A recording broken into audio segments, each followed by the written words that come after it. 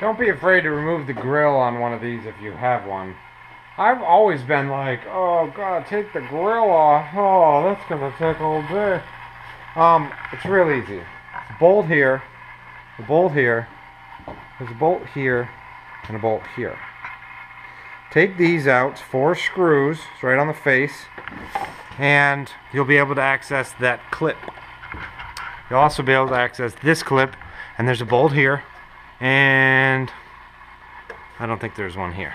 So yeah, one, two, three, four, five, and two clips.